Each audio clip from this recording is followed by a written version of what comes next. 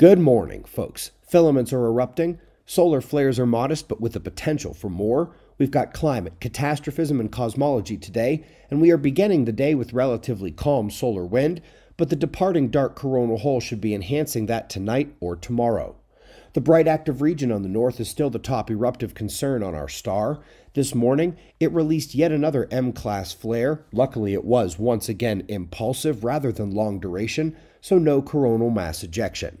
While there are indeed several active regions that could develop into flare makers, the north is obviously the big one, and it's magnetically complex, presenting several Delta class interaction zones and likely giving us more as it turns across the second half of Earth facing heliographic longitudes.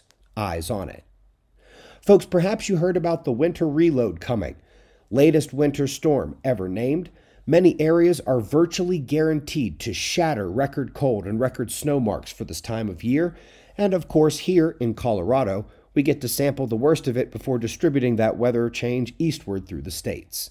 Let's go to cosmology, where the more certain Hubble becomes as to how its eyes see cosmic expansion, the more certain they and everyone else is that the discrepancy is not going to be solved by data error. There is truly new physics at work that they don't see one bit, and observers couldn't agree more. Little Easter egg for those up to date on modern catastrophism and what's expected from our star. Once again, they found unique isotope chemistry and were able to quickly conclude that it was nova produced. But after looking and looking and not finding any good candidates in the usual realm, they just say that the iron chemistry they're seeing must have been produced by a supernova long ago. Folks, this runs into the same problems as all of their other recent nearby nova explanations, and speculation is okay when you don't have a better answer sitting right in front of you. It's the sun, it's the sun, it's the sun.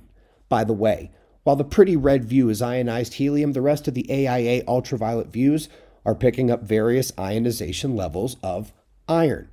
Yes, that's all iron in these here at various energetic states.